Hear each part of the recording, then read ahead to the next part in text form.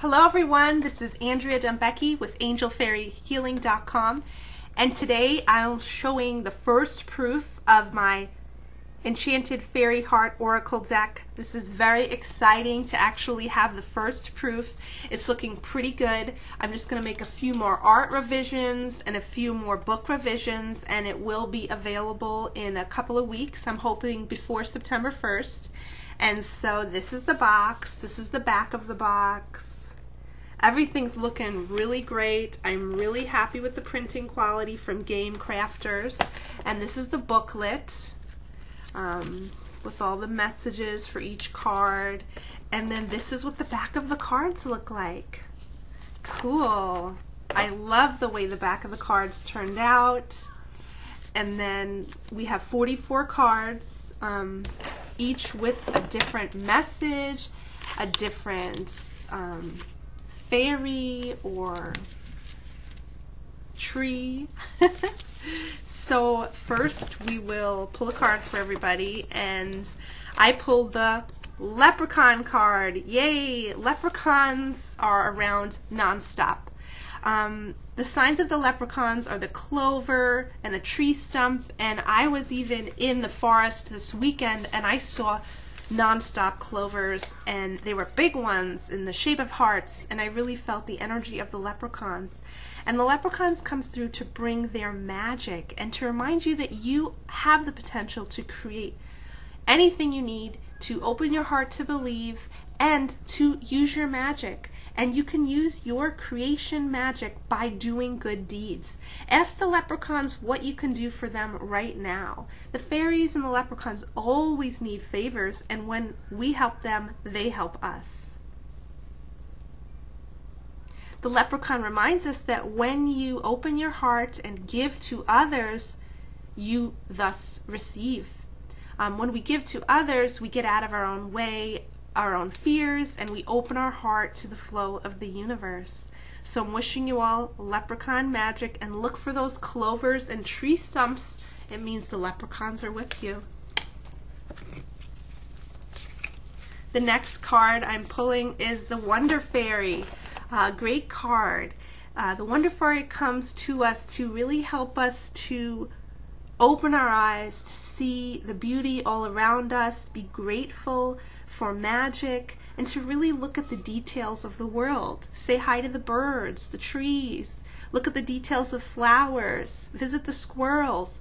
There are so many things in our beautiful worlds, and I think that we have, you know, kind of taken them for granted. So this fairy is really here to help us to live in the present, really open our eyes, and appreciate our surroundings. The next card I pulled is the Self Love Fairy.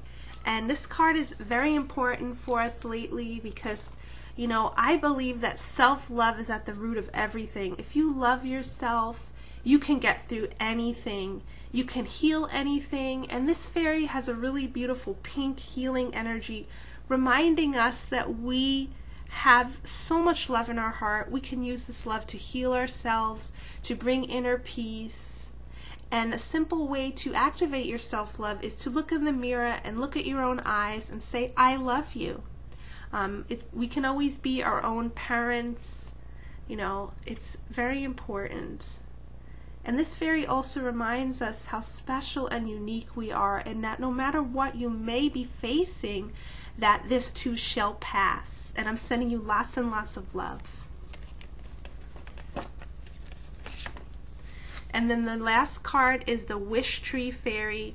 And this card is a very powerful card for those who may have given up on our dreams or wishes.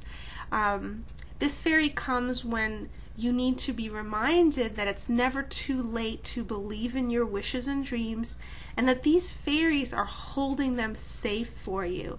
So I, I ask you to ask yourself, what is your biggest dream? Have you given up on something? Um, how can you open your heart to that innocent faith that your dreams can come true? Can you make goals? Can you take action steps? Can you call on help? Um, it is your job to be the visionary of your world. Thank you. And I'm going to pull one more bonus card just because I'm so excited about the new deck. And the next card is Fairy Grandmother. Fairy Godmother. and Fairy Godmother comes to remind us that we have to receive nourishment. Have we been out of balance with giving and receiving? It is very important for us to open our heart to receive and connect with that beautiful divine mother healing energy and remind ourselves that we have a beautiful symbiotic relationship with the universe. The universe is all nourishing. And I know that we can go through um, cycles in our life where maybe we aren't receiving, maybe we feel burnt out or depleted.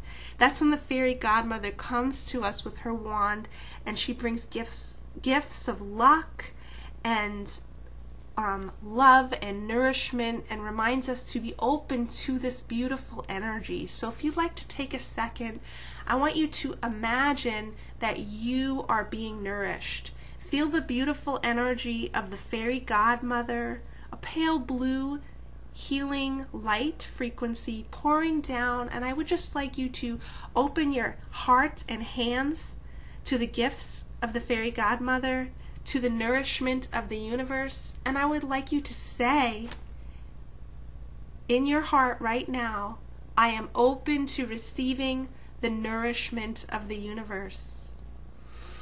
Feel this nourishment wash throughout your body, and I would like you to fully receive it.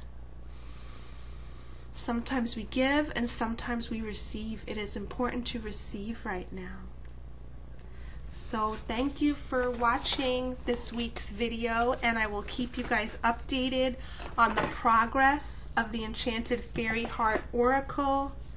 I'll show you guys a few more cards. There's 44 cards and hopefully it will be available in a few weeks.